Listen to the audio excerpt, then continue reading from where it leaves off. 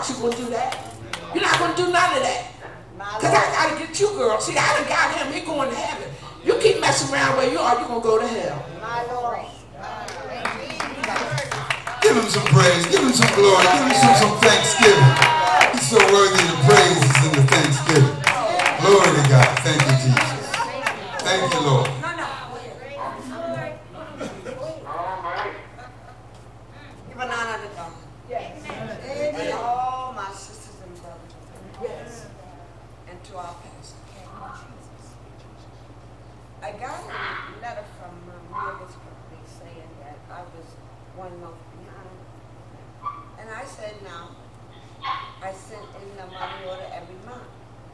And I was waiting, because I'm thinking, God gave me the money. He's not going to let nobody steal it. So I'm waiting and waiting. And finally, I went home, and the Lord said, call Western Union. So I did.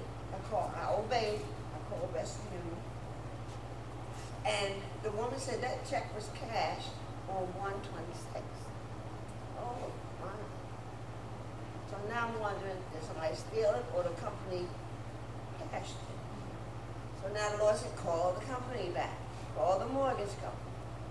And I called them up. And I said to them, I called Western Union and they say the check was cashed on the twenty-sixth. She says, oh, wait, wait a minute. I said, it wasn't a check, it was a money order. She said, oh, wait, wait a minute. And she was digging and digging, but I knew in my heart that my father was taking care of me. And I knew he's a real daddy. And he ain't gonna let nothing and no harm come to me. Number one, I'm a widow. Yes. And he takes care of his widow. Yes, he does.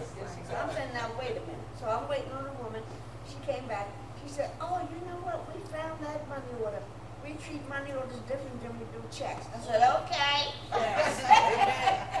Praise the Lord. Amen. She said, call us back on Wednesday and we'll have it straightened out.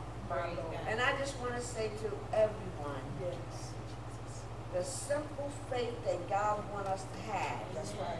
is just believe that He will do it. Amen.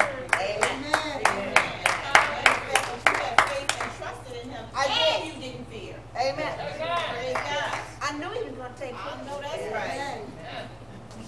Praise God. Thank God for Jesus. Amen. Thank God for the wonderful testimonies he has put in his house, Hallelujah. in his people, Amen. and the great things he has done.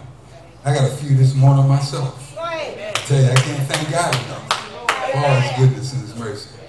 I tell you, first of all, I want to I want everybody to be in prayer for Brother Redwine Oh, and his wife, because his his wife's uncle passed away, and uh, he had to go. To, he had to. He had a funeral last week. But you know, just like Sister Sandra was saying, and the testimonies you heard was saying, no matter what happens Yes. with God, everything that God does is good. Amen. You just have to learn how to see it. Amen. You know, Brother Redwine had, he, he's not going to be on today, neither Dave is going to be on with us today. But Brother Redwine also had a brother. I think it was his brother.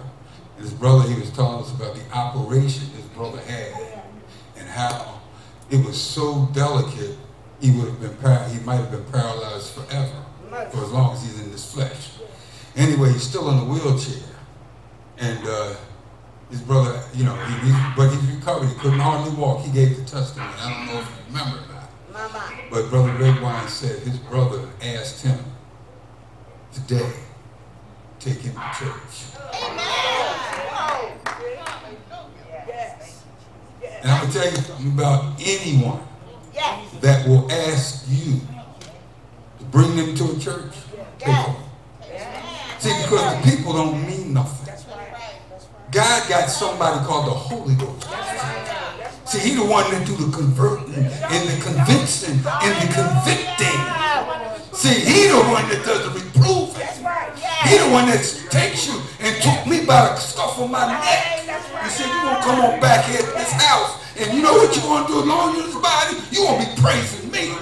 Because you know what? I'm gonna reveal myself to you and talk to you and walk with you and all of